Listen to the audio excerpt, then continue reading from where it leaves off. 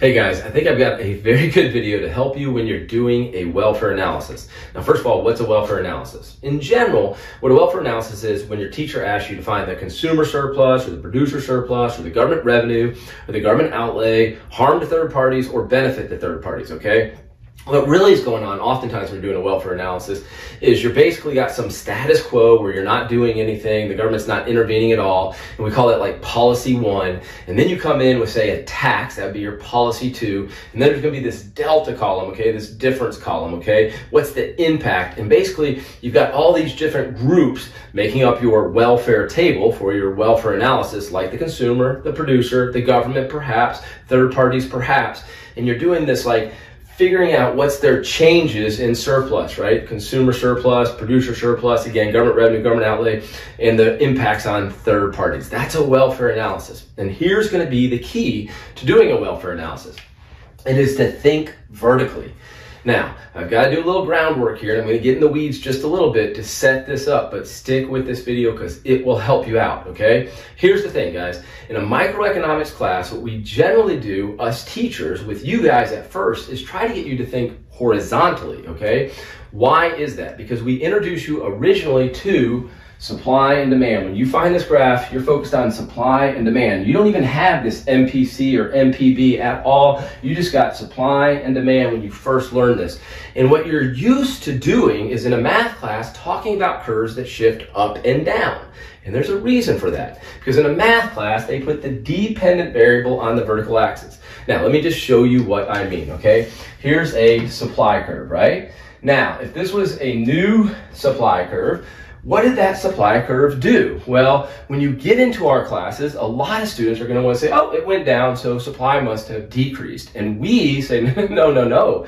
That's an increase in supply. Supply has shifted right. So we're trying to get you in this horizontal orientation to the graph. Now, why is that? Because we actually flip the axes on you price, which we're measuring vertically, is the independent variable, and the quantity supply, quantity demanded, the quantity right there, is the dependent variable. And so here's what we're saying. The quantity supplied has increased, right? The quantity supplied has increased at all price points. If I was to put a new supply curve there, right? What did that supply curve do? In fact, sometimes I can make it even a little bit harder on students. I'll do something like this to make it really look like it shifted up. And, you know, and if they say it shifted up, they might say it's an increase in supply, which we know it's not, right? Because we have a horizontal orientation of the graph. No, no, no. This supply curve right here has shifted left. The quantity supplied is decreasing. The quantity supplied, this thing, is decreasing at all price points. So, again, the reason we talk about supply and demand as shifting right and left is the quantity supplied and quantity demanded, which we're measuring on the horizontal axis, is the dependent variable, okay? We kind of switch the graph on you, and now we got to get you in this right-left orientation. And usually, we're scared to confuse you, so we leave you there, sometimes for the whole class. But really, I think the best thing to be told, and again, we're at Econ Busters, so we're trying to bust this stuff. We're trying to like bring everything to light, okay, to make things easier, kind of break through that conclusion, that confusion to get to clarity. It's kind of weird, but that's what we're trying to do. When you get later on in the class and you start talking about this curve, not as supply as much as the marginal private cost, and not this curve not as demand, but more as the marginal private benefit, guess what your orientation should be? It should be vertical again. Okay, why is that? Because MPC and MPB, we are measuring vertically, okay? So dollars per unit. You can see it right there, okay? We're measuring a lot of things vertically, like price, like we've already talked about, but we're also talking about MPC and MPB and MSC and MSB. All of those things we're measuring vertically, and here's the deal. If you've stuck with me this far, fantastic. Here's the deal. When you see this curve as MPC and not as supply, MPC is the dependent variable, the thing you're measuring vertically. Here's what I mean by that. Your MPC is dependent upon which good you are producing. And so what I mean by that is when you see this curve as the MPC, you are back to a vertical orientation. In other words, let's just say the price of inputs goes up. Price of inputs goes up, right? Well, that means the marginal private cost is increasing at every unit of output increasing. The MPC curve has shifted up. And yes, when the MPC curve shifts up, the supply curve shifts left, okay? How about an improvement in product, production technology, an improvement in production technology, what would happen? Well, the MPC would decrease at all units of output, okay? And you should properly say the MPC has not shifted right. You should not say that. That's not proper. It has shifted down, okay? Why should you say it shifted down? Because the marginal private cost, which you are measuring vertically in dollars per unit, has decreased, right? It's decreased at all units of output, okay? And here is the kicker for this video. When you are doing a welfare analysis, you, when you see this curve and this curve, you are really seeing these curves as MPC, not supply so much. And this curve as MPB, not demand so much, okay? So your orientation goes vertical. Hope that makes sense to you. I know that's kind of like interesting. And so let me just say it one more time, just to make sure we've got it. You see this curve as a supply curve? Well, you're seeing this as price and this is quantity supplied and absolutely the quantity supplied is dependent on the price and that supply curve is just right and left. If you see this curve as the MPC curve, you are measuring MPC now vertically and the marginal private cost of production, okay, for any particular good, because marginal cost means per unit cost, is dependent upon which good you are producing. So when I see this curve as an MPC curve, I should talk about it as shifting up and down, the marginal private cost going up at all levels of output, going down at all levels of output.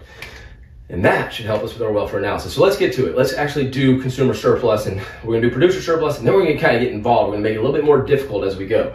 So right off the bat, hey, what would be my consumer uh, surplus and producer surplus? And I know most of y'all can find it, but let's just make sure we fully understand it, okay? We can pick any unit of output. So I'm gonna pick that unit of output right there. And guess what? We take that unit of output, that is my per unit benefit to the consumer. Why am I saying that? What curve am I on? I'm on the MPB, right?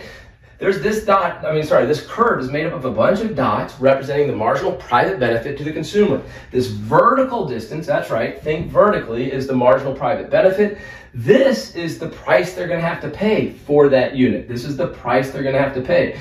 The difference between the benefit and the cost, because the price they pay is their cost, is the surplus. So this vertical right there is the consumer surplus. And so we'd say, okay, surplus, surplus, all of these verticals that are right over each unit of output is the consumer surplus, making this triangle the consumer surplus. Producer surplus, right? Price is a per unit benefit to the producer. So again, I'm kind of smearing that a little bit, but that unit of output, that, that's the price, that's the benefit the supplier is going to get. The curve is a marginal private cost, right? It's measuring the marginal private cost. So this is my marginal private cost for that unit, when I produce that unit. This vertical distance is the marginal private cost. This is the per unit revenue or benefit I'm going to get. The difference is the surplus or profit, right? Surplus or profit. So these verticals between this met vertically measured benefit and ver vertically measured cost, these verticals is the surplus, producer surplus. Okay, now let's get a little more involved. Let's bring in a tax wedge, right? So we bring in a tax wedge. We implement a tax. So put that little dot there and that there bring this over.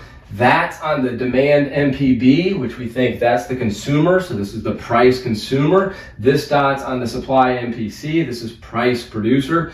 And we also know that per unit taxes hurt the consumer. So they raise their cost per unit. That's the price and hurt the supplier because it's lower, lowering the benefit, right? The per unit benefit, which is the per, uh, producer's price. And then we're asked to find consumer surplus again. So consumer surplus for that particular unit, which I keep smearing right there, all the way to there again, still is the marginal private benefit. Now what's the cost to acquire? PC, so all the way up here, this curve again is MPB. It's a benefit line to the demander, okay? So that's my benefit, that's my cost. So this triangle right there, consumer surplus. Now again, we go to the producer's surplus. Right there, there's my PP, right? That's the per unit revenue or per unit benefit. Here's my per unit cost for that particular good. That vertical distance right there is the producer surplus for that good. All of these verticals, producer surplus, right? Now, government revenue, also measured in dollars per unit. That distance from PC to PP is the per unit tax. Okay, so I take my per unit tax. How many goods are going to be bought and sold? Well, hey, my new quantity, quantity tax, where QS equals QD after the tax, that was my Q market, by the way, is right there. So I take that vertical distance and I take it all the way, stop, right there, because nothing's being bought or sold to the right. So this rectangle right there is my government revenue, okay? Next, let's bring in some third parties. Let's say there's an externality here, okay? And I'm gonna make it really simple, make the per unit externality equal to the per unit tax I've already implemented. So let's go ahead and draw that line as best I can, marginal social cost, okay? Now, just to make sure we've got the point that we're trying to get, I'm going to pick this unit right here, which is not actually going to come into play for anything, but so that's why I don't mind messing up my graph over here, but I want you to see something, okay? Really important. This vertical distance, when we make that unit, if we were to make that unit, would be the marginal private cost, the cost to the supplier. This additional vertical again, that's right, additional vertical. Remember, when we talk about the MSC, we should say it lies above. I do not like it when a student says the MSC lies to the left or lays to the left, whatever it is, is to the left. I wanted to say that the MSC is above, okay? Because this vertical distance is the per unit externality, okay? And hey, that vertical distance is the per unit, and that's the per unit, right? All those are per unit externalities, those vertical distances. But anyhow, marginal private cost of producing it, harm to third parties. If I take the full vertical, right, from this right here all the way down to right there, I've got my marginal social cost, all right? So if we're asked, what's the harm to third parties um, after the tax. Let's just do it after the tax first, okay? Well, there's my vertical distance, right, between MPC and MSC. And I'm going to say for each unit that's produced, how many units are going to be produced? Only to Q tax, right? So each of those verticals right there to write this line right there. So let's just do this. A, B, C. This is always very difficult for students, but it'd be this parallelogram. And what helps me find that harm to third parties even after the tax is me thinking vertically, right? There's my vertical uh, per unit externality, right? That's what that's measuring. And so I'm just going to say, okay, that vertical distance, that vertical, that vertical, that vertical, that vertical, over each one of these units of outputs, all the way to right here, A, B, C, that's my harm to third parties. And if I said, hey, what would be my harm to third parties before the tax was implemented, if we had a free market or uh, a market for which we were not intervening, okay? Well, I'm gonna have to add a little bit to this, okay? Move that up right there. D, E, F. So what it would be is that's my harm to third parties, how much are going to be bought and sold now, all the way to QM. So that vertical distance, okay, let's just go ahead and mark that vertical distance, that vertical distance, that vertical distance. Keep doing that. Keep doing those verticals all the way to right there above QM, right there. So this parallelogram right here, from this to that dot, down to that dot, down. What's the harm to third parties if we didn't intervene? A, B, C. Let me get rid of these so we're not confused when I say A. A, B, C, D, E, F. That parallelogram.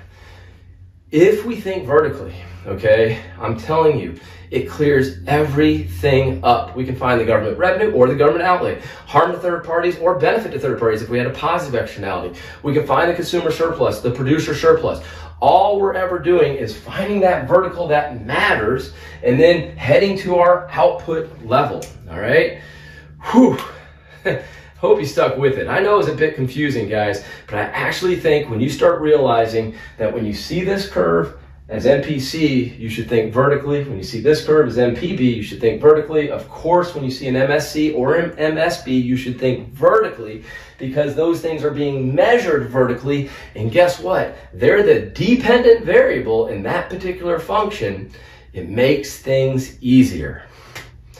Maybe watch it twice. I really think if you get this one, it's going to make things easier. Talk to you in the next video.